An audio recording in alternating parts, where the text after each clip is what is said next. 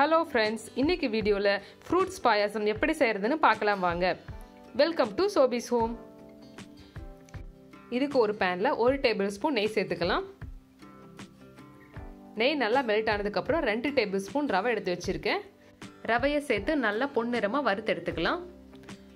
ரொம்ப வறுத்துற வேண்டாம். லைட்டாக இந்த மாதிரி கலர் சேஞ்ச் ஆகிற வரைக்கும் வறுத்தா போதும். இப்போ ஒரு பாத்திரத்தில் ஒன்றரை டம்ளர் பால் சேர்த்துக்கலாம்.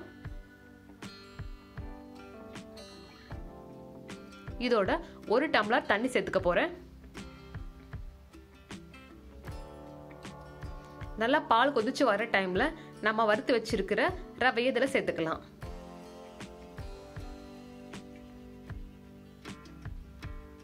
ரவா நல்லா குக் ஆனதும் நான் இன்னைக்கு ரெண்டு டேபிள் ஸ்பூன் கண்டன்ஸ் மில்க் எடுத்து வச்சிருக்கேன். அதை இதோட சேர்த்துக்கலாம். இது வந்து ஆப்ஷனல் தான். உங்ககிட்ட சுகர் மட்டும் இருந்துச்சு அப்படின்னா சுகர் மட்டும் சேர்த்துக்கோங்க. நான் இன்னைக்கு இதோட சுகர் கொஞ்சம் சேர்க்க போகிறேன் இதுக்கு மூணு டேபிள் ஸ்பூன் சர்க்கரை எடுத்திருக்கேன். இதோட மூணு ஏலக்காயை தோல் நிற்கிட்டு இதில் சேர்த்து நல்லா பவுடர் மாதிரி அரைச்சி எடுத்துக்க போகிறேன் இந்த மாதிரி நல்லா பவுடர் பண்ணியிருக்கிற சர்க்கரை இப்போ நம்ம சேர்த்துக்கலாம்.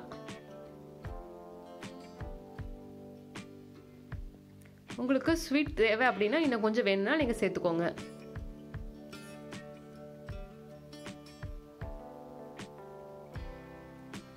நல்லா கலந்து விட்டுக்கோங்க. நல்லா கொதிச்சு வர டைமில் உங்களுக்கு இன்னும் திக்காக வேணும் அப்படின்னா நம்ம பாதாம் அரைச்சி இதில் சேர்த்துக்கலாம். இது வந்து ஆப்ஷனல் தான். உங்களுக்கு தேவையாக இருந்துச்சுன்னா மட்டும் நீங்கள் பாதாம் அரைச்சி சேர்த்துக்கோங்க. இல்லை அப்படின்னா இதை ஸ்கிப் பண்ணிடுங்க. இதுக்கு நான் ஒரு மிக்சி ஜாரில் ஆறு பாதாம் எடுத்திருக்கேன். ஊற வச்சு தோல் நீக்கி எடுத்திருக்கேன். இப்போ இதை நல்லா அரைச்சி இதில் நம்ம சேர்த்துக்கலாம். பாயசம் நல்லா குக்காகி ரெடி ஆகிடுச்சு இப்போ நம்ம ஒரு கொதி வந்ததும் அடுப்பு ஆஃப் பண்ணிடலாம். இப்போ நம்ம செஞ்சு வச்சிருக்கிற பாயாசத்தை இப்போ ஒரு மிக்சிங் பவுலில் மாற்றிக்கலாம்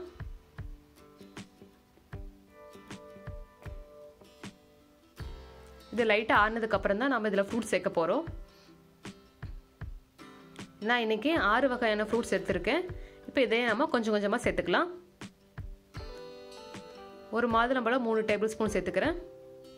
உங்களுக்கு தேவையான அளவு நீங்கள் உங்கள் ஃப்ரூட்ஸை சேர்த்துக்கோங்க. இதோட ஆப்பிள் கட் பண்ணி வச்சுருக்கேன். அதையும் சேர்த்துக்கலாம்.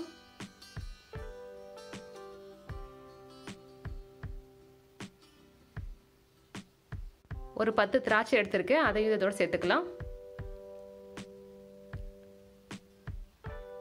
ஒரு பாதி பனானா எடுத்திருக்கேன். அதை இதோட சேர்த்துக்கலாம். அன்னாச்சி பழம் மட்டும் ஒரு பவுல் அப்படியே சேர்த்துக்கோங்க.